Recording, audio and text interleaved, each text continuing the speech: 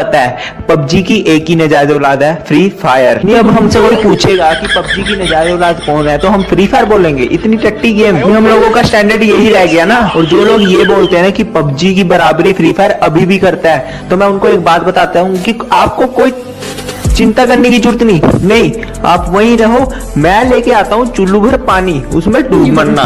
नहीं अरे पबजी वाले तुम जितने की मोबाइल यूज़ करते हो ना उतने के हम महीने टॉप अप करते हैं ठीक है?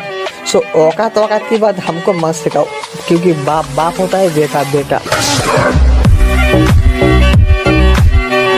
यहाँ दोस्त एक कॉल पर खेलने आते हैं। नहीं आते तो गालियाँ देकर बुलाए जाते हैं। पबजी एक ऐसा गेम है जहाँ सबसे जहरीले सांप पाए जाते हैं। हम फ्री फायर वाले और तुम पबजी वाले। चलो तो फिर एक मुलाकात देख लेते हैं। कि हम फ्री फायर वाले और तुम पबजी वाले। चलो तो फिर एक मुलाकात देख लेते हैं और तुम औकात देखकर बात करते हो और हम बात करके औकात देख लेते हैं।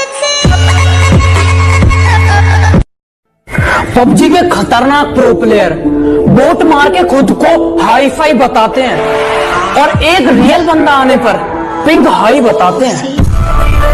अरे हमें फ्री फायर ने बर्बाद किया। पबजी में कहा दम था?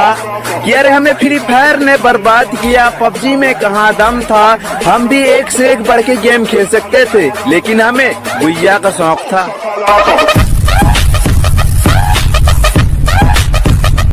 पबजी वाले हैं रत्ती भर भी रहम नहीं करेंगे। चीर देंगे, फाड़ देंगे, और बेटा बाप की बात तो दूर रही, बेटे ही ज़िंदा गाड़ देंगे। मैं फ्री फायर वाला हूँ। फ्री फायर ना खेलूं, ऐसी कोई रात नहीं। मैं फ्री फायर वाला हूँ। फ्री फायर ना खेलूं, ऐसी कोई रात नहीं।